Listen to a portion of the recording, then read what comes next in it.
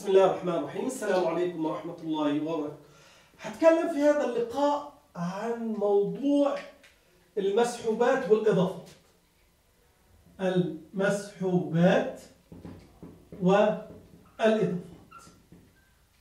أو بمعنى آخر زيادة رأس المال أو نقصان رأس المال. نقصان رأس المال وزيادة رأس المال. نقصان رأس المال أو زيادة رأس المال. بكل بساطة وكل سهولة. لأن إحنا بنمارس عملنا أو نشاطنا خلال العام. احتاجت الشركة لأموال إضافية. لأي سبب من الأسباب؟ بدنا نشتري جهاز كمبيوتر. بدنا نشتري سيارة نستخدمها في أعمال الشركة. بدنا نشتري آلة نستخدمها لأعمال الشركة. الآن فيش سيولة كافية لامتلاك هذا الأمر. فيش ما فيش سيولة كافية.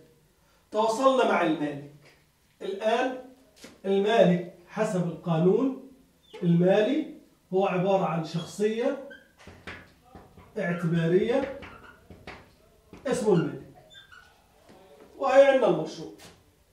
برضه شخصية اعتبارية اسمها الشركة أو المشروع الآن أنا المحاسب داخل الشركة تواصلت مع المالك قلت له والله إحنا بحاجة إلى بحاجة إلى تمويل. خلينا نحط كلمة تمويل لشراء جهاز كمبيوتر أو مجموعة أجهزة كمبيوتر مجموعة لاستخدامات إيه؟ المشروع. الآن المالك بيخاطب المحاسب بيقول له طب أنا م- في المحصلة النهائية هجيب الأموال هذه هتزود رأس مالي آه لأنه هذه من أموالي الخاصة أموالي تاعت البيت مصروف البيت مدخراتي اللي أنا قاعد بحوشها في هذه الحالة يسمى هذا المفهوم إضافات أو زيادة رأس المال إضافات أو زيادة رأس المال طبعا هو ممكن يجيب ألف دينار مم. الألف دينار هذا حتدخل على وين؟ على صندوق الشركة ومن صندوق الشركة نشتري منها إيه؟ جهاز الكمبيوتر يبقى حتمر إيه؟ حتمر في مرحلتين المرحلة الأولى اللي هو أموال من صاحب المشروع أو مالك المشروع هيعطيها للشركة وحتسجل إضافات أو زيادة رأس المال حتودع في الصندوق الصندوق هياخد هذه الأموال.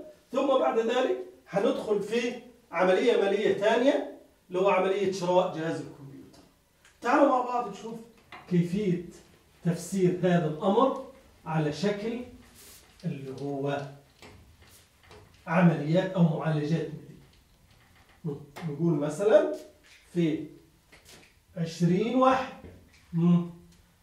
تم زيادة رأس مال المشروع بمبلغ ألف دينار أموال إضافية من قبل المالك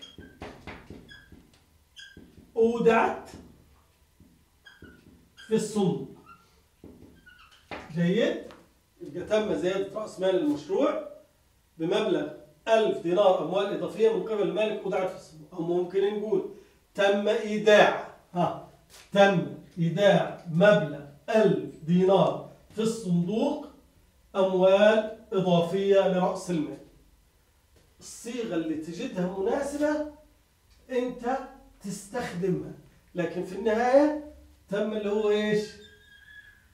كل هذا اسمه زيادة رأس المال أو إضافات رأس المال. والمبالغ أودعت وين؟ في الصندوق وبكل سهولة وبكل بساطة بنطبق قاعدة أخذ وأعطى. الصندوق أخذ. جمادين رأس المال أو الزيادة هو عبارة عن عطاء. يعني هو يعطي. يبقى إيه؟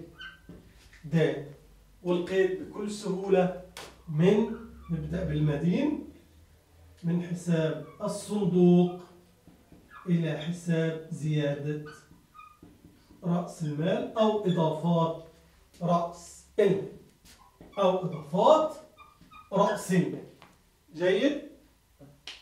الآن الحدث الثاني اللي هو شراء جهاز كمبيوتر مبلغ آه. طيب لو المالك نفسه هو اللي راح اشترى جهاز الكمبيوتر الآن بصيغة أخرى ماشي أنتم بحاجة لجهاز كمبيوتر أنا حروح أشتريه مش هنلف اللفة الطويلة يقول لك ها قام المالك بدي أحطها تحتيها خطين بشراء جهاز كمبيوتر لاستخدامات المشروع وهذا حط تحتيها خطين من استخدامات الشركة. ها. بمبلغ ألف دينار من أمواله الخاصة. برضه هذا حط تحتيها خطين يبقى الآن إيش الحدث؟ إنه المالك من أمواله الخاصة جاب ألف دينار واشترى فين إيه؟ كمبيوتر. طيب أنا إيش حروح أعمل؟ بكل سهولة حروح أقول في جهاز كمبيوتر دخل على الشركة يبقى أجهزة ومعدات طيب من وين هذا جهاز الكمبيوتر تم امتلاكه؟ من خلال أموال مين؟ أموال المالك اللي هو بنسميها زيادة رأس المال يعني زود رأس ماله بالألف دينار من خلال اللي هو إيه؟ شراء كمبيوتر لاستخدامات المشروع أروح بقول من حساب طبعا بكل سهولة. طبعا زيادة رأس المال دائما دائم بالمناسبة. عشان يصير في عندنا إيه؟ القاعدة. زيادة رأس المال دائما دائم طبعا الأجهزة المعدات أصول والأصول مدينة.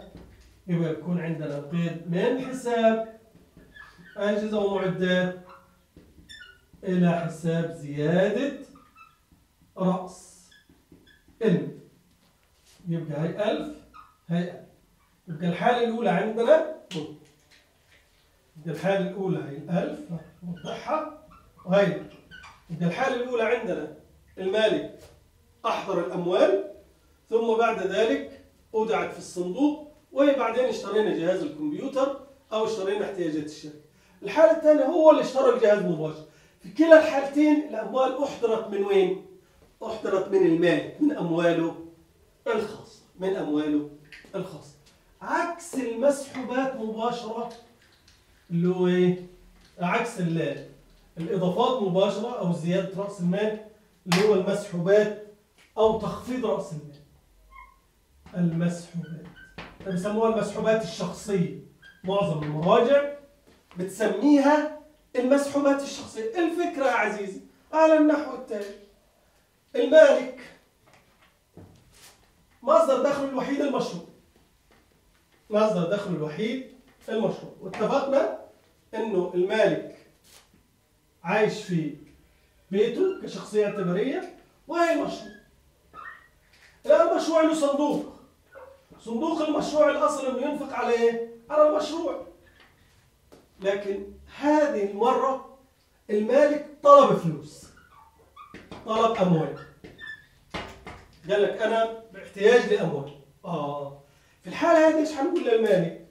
هنقول له بما إنه إحنا في فصل ما بين شخصيتك وشخصية المشروع اللي هو إيه مبدأ أو فرض اللي هو الاستقلالية أو فرض الشخصية الاعتبارية آسف ما دام في اللي هو استقلالية أو أو أو ما فصل ما بين شخصية المالك وشخصية المشروع نفسه كل الأموال اللي هتاخدها من الصندوق هنسجلها اللي هو إيه مسحوبات. أو هنسجلها تخفيض لرأس مال. يعني وكأنه إيه وكأنه بنقول له أنت لك رأس مال 50000 دينار. الآن لما أخذت 1000 دينار من الصندوق كأنه أصبح رصيد رأس مالك 49 طبعا المسحوبات أو تخفيض رأس المال تصنيفها في علم المحاسبة مدي هذه الإضافات وزيادة رأس المال تصنيفها دائم هذه قواعد وهذا تصنيف مدينة تعالوا مع بعض ناخذ معالجة بسيطة جدا وهي من خلال هذه المعالجة حنكون وضحنا الصورة بشكل أكثر عمق. المعالجة في 30 واحد. تمام؟ قام المالك. ها. بسحب مبلغ. 2000 دينار ها. من الصندوق أو من صندوق الشركة بالمناسبة عشان أكثر عمق. ها لاستخدام الشخص. الاستخدامات الشخصية. إيش يعني الاستخدامات الشخصية؟ يعني مش للمشروع يعني ما أخذش ال 2000 دينار وراح جاب فيهم بضاعة للمشروع لا. أخذ ال 2000 دينار وراح دفع رسوم ابنه في الجامعة أخذ ال 2000 دينار وراح دفع أجار بيته. أخذ ال 2000 دينار وراح اشترى فيهن جهاز كمبيوتر لابنه يبقى الأمر يعود على اللي هو المالك تعالوا مع بعض تفسيرها العلمي قام المالك بسحب. أنا مش كلمة سحب هي المسحوبات لا. ها كلمة الاستخدام الشخص. الاموال وين راحت؟ ها استخدمها ليه؟ هذه كلمة مسحوبات شخصية ها اللي هو ال 2000 دولار طبعا أخذ الفلوس من وين؟ من الصندوق. أخذ الفلوس من الصندوق. يبقى الآن الصندوق اعطى والذي يعطي دائما دير بالك المن هنا حرف جار. المن هنا حرف جار. ماشي؟ والمسحوبات طبعا اللي هو إيه؟ مدين. كل المطلوب مني هروح أقول من حساب المسحوبات الشخصية إلى حساب الصندوق. هي 2000 دينار؟ 2000 دينار. بكل سهولة بكل يسر بكل بساطة المبلغ تم سحبه لاستخدامات المال طيب تعالوا نعمل صيغة توضح لنا الفكرة كلها بشكل أكثر عمق. نفس القضية على 30 واحد. هشتغل. هشتغلها على 30 واحد. اشرب حتى كل وخلاص خلصت. هشتغلها على 30 واحد.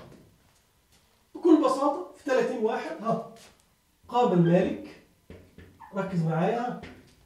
بتسديد مبلغ 2000 دينار.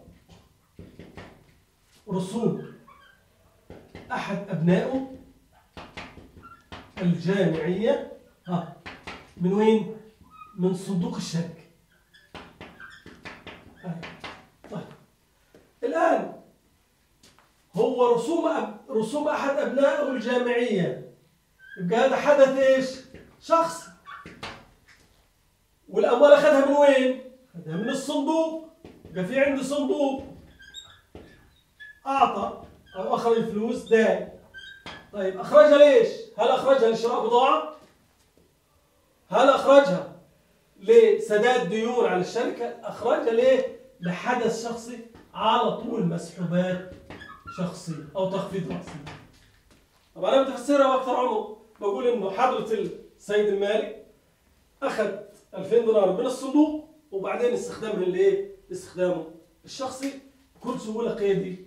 طبعا هذا دين وهذا مدين يبقى من حساب المسحوبات الشخصية أو بالمناسبة ممكن تكتب تخفيض رأس المال إلى حساب الصندوق هي 2000 هي يبقى هنجمل المحاضرة عندنا مسحوبات شخصية أو تخفيض لرأس المال وعندنا اللي هو زيادة رأس المال أو إضافات لرأس المال.